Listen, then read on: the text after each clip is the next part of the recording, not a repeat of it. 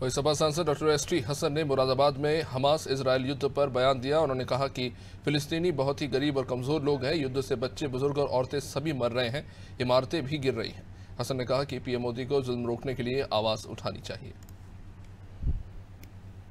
Hamas को तो मैं नहीं कह रहा, लेकिन फलस्तीनी बहुत ही गरीब लोग हैं, बहुत ही कमज़ोर लोग हैं, मजलूम लोग हैं।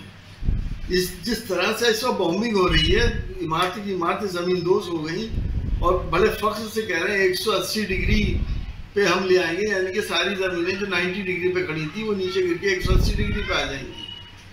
अब जो इसराइल कर रहा है, क्या वो जायज़ है? अब कितने बच्चे मर रहे हैं, अब कितने बूढ़े मर रहे हैं, कितनी औरतें मर रही हैं? अब दुनिया किस जगह पे खड़ी? हमारे, हमारा प्रधानमंत्री जी कहाँ है? ये जुल्म उन्हें नज़र नहीं आ रहा। इसको भी तो रोकने की आवाज़ उठानी चाहिए।